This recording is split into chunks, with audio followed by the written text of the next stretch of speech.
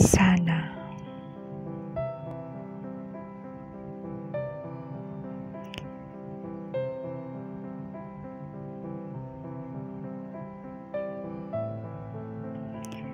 mga salitang maraming kahulugan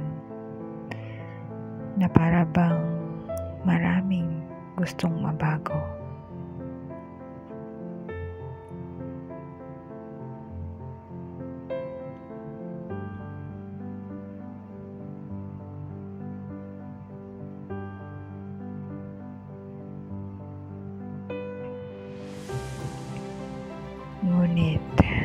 Sa pagdaan ng oras at araw, sa isip ay unti-unti ring nawawari na ang mga sana, sana na ito ay may bukod tanging kadahilanan.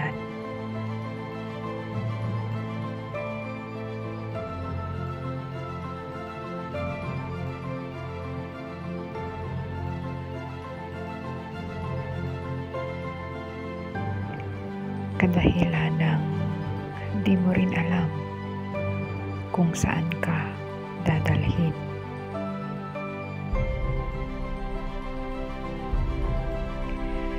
Ngunit kung ang sana mo na iyon ay patungo sa taong mahal ka at pinapalagahan ka,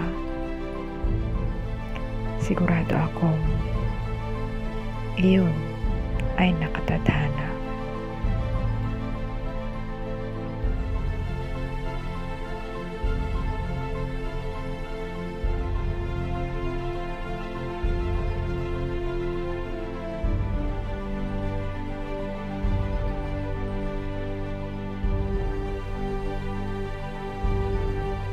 Sana